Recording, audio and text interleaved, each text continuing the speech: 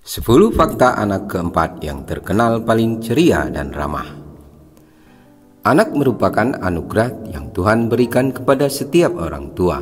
Pepatah mengatakan banyak anak banyak rezeki. Tak heran banyak orang tua yang memiliki anak dengan jumlah yang cukup banyak seperti empat anak atau lebih. Hal ini karena setiap orang tua berharap bahwa dengan kehadirannya anak dapat membawa kebahagiaan dan keberkahan hidup. Pada video kali ini, kami akan membahas fakta-fakta seputar anak keempat, anak yang identik dengan anak bungsu atau terakhir dalam keluarga. Biasanya, orang tua merasa cukup setelah memiliki empat buah hati, sehingga akan stop untuk memiliki anak lagi. Anak keempat ini biasanya menjadi anak yang paling dimanja dan disayang. Meski demikian, sifat positif dari anak keempat patut menjadi contoh. Penasaran kan fakta apa saja yang dimiliki seorang anak keempat dalam keluarga? Maka dari itu, bagi kamu anak keempat atau kamu yang penasaran dengan fakta-fakta anak keempat, simak penjelasannya berikut ini.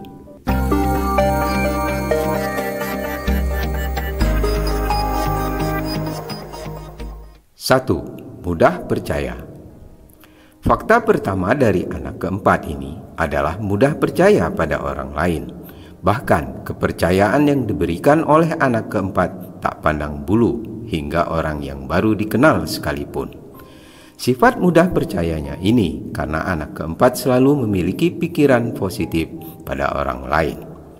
Meski demikian, sifatnya yang mudah mempercayai setiap perkataan orang lain menjadi kelemahan tersendiri untuk dirinya. Banyak orang memanfaatkan hal tersebut untuk membodohinya.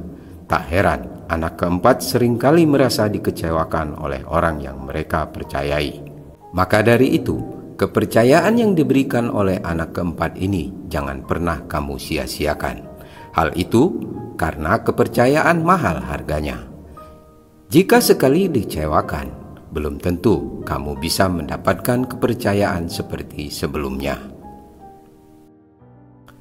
2. Penyayang Anak keempat juga dikenal akan kasih sayangnya yang amat tulus.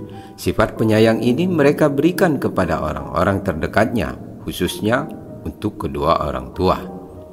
Anak keempat juga menyukai dan menyayangi anak kecil. Itulah mengapa anak keempat sering kali bersenda gurau dengan anak kecil yang menggemaskan. Bukan hanya menyayangi orang terdekat, Sifat penyayang dari anak keempat ini juga berlaku untuk semua makhluk, seperti misalnya hewan. Saking sayangnya pada hewan, anak keempat biasanya selalu ingin memiliki peliharaan. 3. Pandai menghibur dan menyenangkan.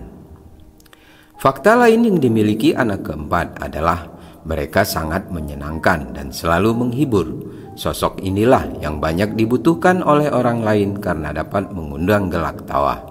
Anak keempat senang dengan hal-hal yang berbau humor hingga mereka cocok dijuluki mood booster. Sosok anak keempat selalu mengeluarkan candaan-candaan menggelitik pada teman atau sahabatnya yang sedang sedih. Mereka selalu berusaha membuat senang orang-orang yang ada di sekelilingnya. Sifatnya yang humoris dan menghibur ini membuat anak keempat banyak disukai orang-orang.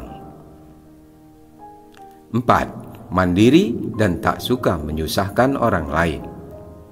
Meski identik dengan anak bungsu, akan tetapi anak keempat ini anti manja dan super mandiri.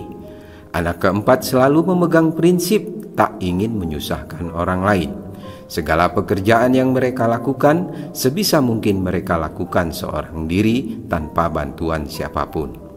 Sifat mandirinya ini menjadi contoh yang baik untuk ditiru oleh semua orang. Tak heran banyak yang mengagumi anak keempat berkat sifatnya yang super mandiri. Tak hanya itu, mereka juga selalu menyimpan kesedihannya seorang diri. Menurutnya, kesedihan tak perlu dibagikan pada orang sekitar. Anak keempat juga pantang meminta sesuatu pada orang lain. Mereka akan mendapatkan apa yang mereka inginkan dengan caranya sendiri. Sifatnya yang pantang meminta ini berkat prinsip yang selalu mereka anut, yaitu tangan di atas lebih baik daripada tangan di bawah. 5. Memiliki sifat yang sangat ramah. Bukan hanya penyayang dan mudah percaya pada orang lain, anak keempat juga ternyata terkenal dengan sifatnya yang ramah. Sifat ramah dari anak keempat ini ditandai dengan senyum ramah yang selalu mereka lontarkan pada siapa pun.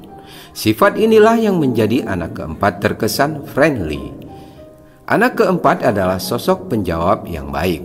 Ketika ada pertanyaan, mereka akan menjawabnya dengan baik dan detail. Meski demikian, tak banyak yang mengira sosok anak keempat adalah sosok yang cuek.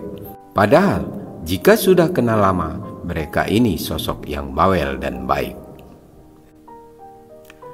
6. Ceria dan petualang Fakta lain yang dimiliki anak keempat adalah ceria dan punya jiwa petualang yang tinggi.